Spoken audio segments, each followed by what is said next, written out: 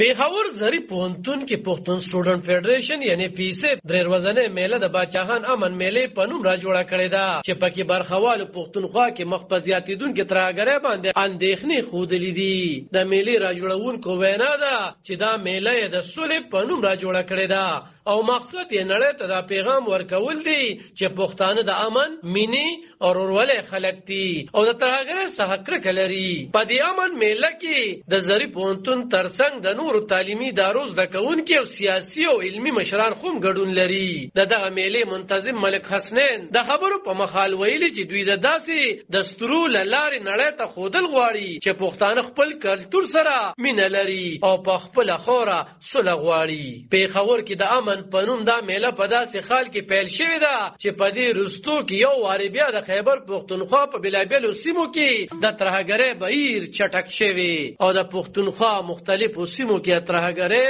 او تندلاریتوب په ضد احتجاجي لاریونونه او مظاهرې خوم شوې دي د پیښور په دې روانه میله کې په بلابلو موضوعاتو سیمینارونه روان دي چې سیاسي مشران او پوهان ورته ویناګانې کوي او په دې ویناوالو کې زیاترو پښتونخوا کې مخ په زیاتیدونکو ترهګرۍ باندې اندېښنې خودلې دي په میله کې برخه لرونکي د صوبایي سملې غړي مرمن سمر خارون بلور ویل چې صوبه کې خدبي وجنو کې اضافه شوې ده د صوبایي سملې په غړو بریدونه روان دي د سملې غړي د قلم ورکولو غوښتن لیکونه ترلاسه کوي حکومت یې هیڅ نوټس نه اخلي مېرمن سمر وایي چې موږ به د خپلو ځوانانو ترڅنګ د سولې د ټینګښت لپاره په هر ډګر ولاړ یو میله کې نه یوازې د پښتنو د کلتور ښودنه کیږي بلکې د پښتونخوا ترڅنګ پکې د پاکستان د نورو قامونو جامې او خوراکونه هم نندارې ته وړاندې کړل شوي دي زده کوونکي کرام الله میډیا ته وایي چې میلې کې رنګارنګه